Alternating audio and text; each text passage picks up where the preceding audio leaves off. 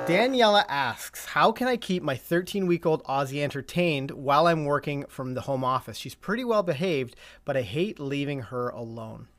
Now, this is a really common thing that we hear, Danielle. And c- can you fire uh, away on that one? Yeah, and for sure. grabbing the stuff. Um, so keeping them entertained at home while you're in the office, you know, when you're at home, it can be really easy to let the dog, you know, sort of be free all the time. But if you're busy and you're doing stuff, it, you know, think about what your puppy's doing to entertain themselves. You know, if we want to let the puppy have some free time, typically we try to do it at a time when, you know, we're not um, really invested in paying attention to something else.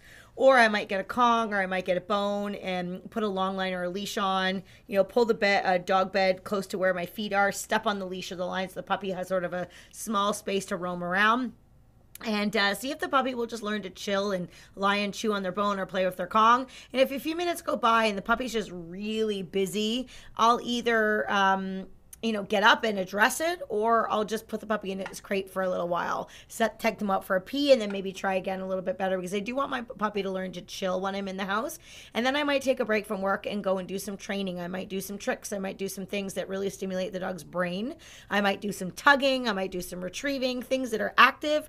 And then usually the puppy's pretty relaxed. Make sure you give them a good uh, potty break and then bring them in and either pop them back in their crate or revisit the chilling out on the bed at your side again now that the dogs you know exuded some energy and used their brain. Um, that's sort of what i would do. Honestly when we're at home and we're Working in the office, though, um, if we can't give the dog full attention, we will just pop the puppy in their crate for a little while, and then just take breaks often. Take the pup out, walk Yeah. them, interact with them, do What a, some what a great way to break away from Yeah, whatever you're doing, writing best- best emails or whatever. ever. Oh, yeah, puppy it's great. play, Yeah. uh, and then put them away. And as the dogs get a little bit older and they start to get more training, you'll find you have to do that less and less because the dogs will have the ability to kind of chill out and go and lie down and relax until you're ready to get up and do something with them. But sometimes that can be really challenging for a puppy in 13 weeks. That's really Yeah. young still. Yep. So I would just do it in really small spurts. So uh, I want you to focus on quality time, not quantity of time. And you'll see all of our trainers. Um, we have a lot of puppies at, at the at the We training hall right now, like So a lot puppies. of puppies. But what you'll see is those trainers will get that dog out and they will do something engaging, interactive, something, uh, you know, training or exercise or something with that dog.